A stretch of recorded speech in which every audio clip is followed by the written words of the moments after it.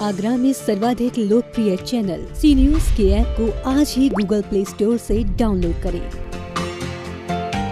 Corona काल में जहाँ एक और सही समय पर सही उपचार शुरू करने की ज़रूरत है तो वहीं दूसरी ओर सोशल मीडिया पर कोरोना से बचाव के बताए जा रहे कई तरह के नुस्खे लोगों को भ्रमित कर सकते हैं। व्हाट्सएप से लेकर फेसबुक और यूट्यूब पर ऐसे नुस्खों की भरमार है।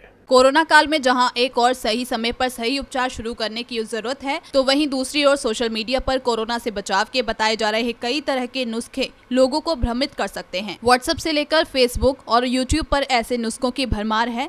इसमें कोरोना से ठीक होने के दावे किए जा रहे हैं, जबकि इन नुस्खों को अपनाने से नुकसान भी हो सकता है और मरीज़ की जान को खतरा हो सकता है। सरोजनी नायडू मेडिकल कॉलेज के मेडिसिन विभाग के प्रोफेसर डॉक्टर प्रभात अग्रवाल ने सोशल मीडिया पर चल रहे इन नुस्खों के बारे में सही जानकारी दी और कहा कि इस प्रकार के नुस्खों के चक्कर में ना पड़ें।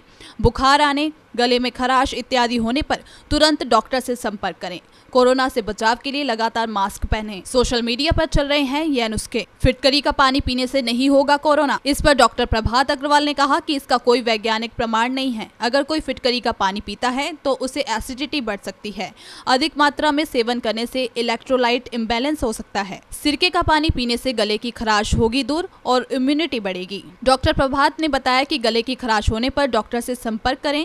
इस नुस्खे से कोई फ़ायदा नहीं होगा। नींबू और प्याज के सेवन से उतरेगा बुखार। इस पर डॉक्टर प्रभात ने बताया कि नींबू से सिर्फ़ विटामिन सी मिल सकता है, लेकिन इससे बुखार नहीं उतरेगा।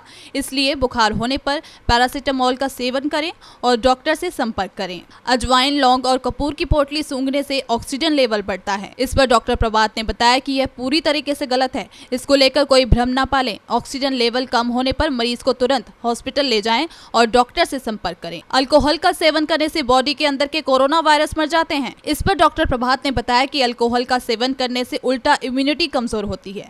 इसके साथ ही अन्य समस्याएँ भी हो सकती हैं। इसलिए इन दिनों शराब का सेवन ना करें। नाक में दो बूंद नींबू रस डालने से कोरोना का खात्मा हो जाएगा। इस पर डॉक्टर प्रभात ने बताया कि यह पूरी तरह से गलत और भ्रामक जानकारी है। इसका इस्तेमाल बिल्कुल न किया जाए। ऐसा करने से म्यूकस में परेशानी हो सकती है। समुद्री नामक और संतरे के छिलकों की भाप लेने से कोरोना ठीक हो जाएगा। इस पर डॉक्टर प्रभात ने बताया कि यह पूरी तरह से गलत है। उसका उपयोग करने से लोगों को बचना चाहिए। सी न्यूज़ के लिए लक्ष्मीराज सिंह की रिपोर्ट।